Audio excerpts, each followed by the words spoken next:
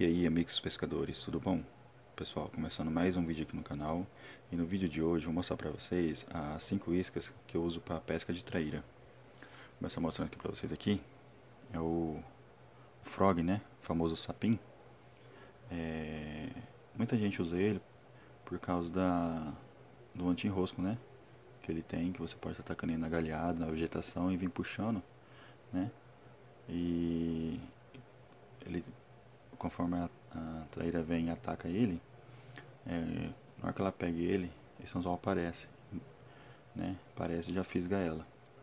E uma isca muito boa, pessoal. Se você não tem na sua caixa de pesca, é, vale a pena você adquirir ela, né?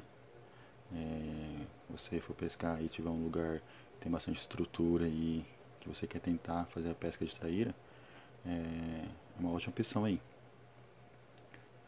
A outra isca, pessoal, é o, o patinho, né? É igual o sapinho, mesmo sistema, né?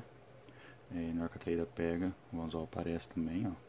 A única diferença é que ele tem essa colherzinha embaixo, né? Que ele vem na superfície, né? E essa colherzinha vem rodando, chamando bastante atenção. A outra isca é o spinner, né? O spinner é uma isca de fundo, né? Ele tem essa colher aqui.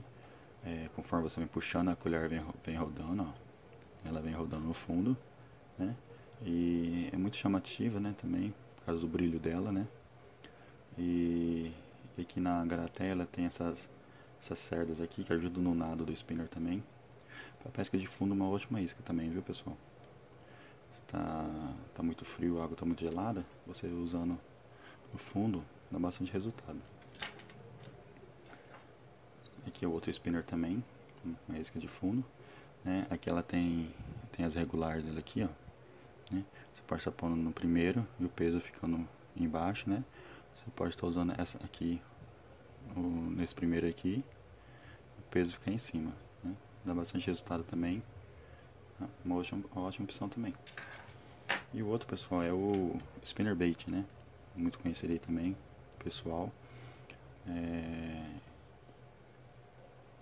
Essa isca aqui, pessoal, é, tem esse sisteminha aqui que ajuda a não enroscar no fundo. Caso tiver é, algum galho, alguma coisa se passar, né, ajuda a não enroscar. E, chama bastante atenção das traíras também, por causa dessas colheres, né? Essas duas colheres aqui, é, elas vêm rodando também, fazendo barulho também, né? Uma ótima isca de pesca de fundo para traíra. Tá?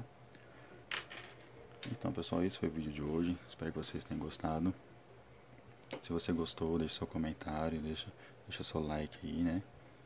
É, você que não é inscrito, é, se inscreve no canal, se você gostou aí, pra você que quer ver mais vídeos aí. É, aí se você tiver alguma isca dessa aqui, pessoal, deixa nos comentários aí qual isca você tem, se você já pegou traíra, beleza?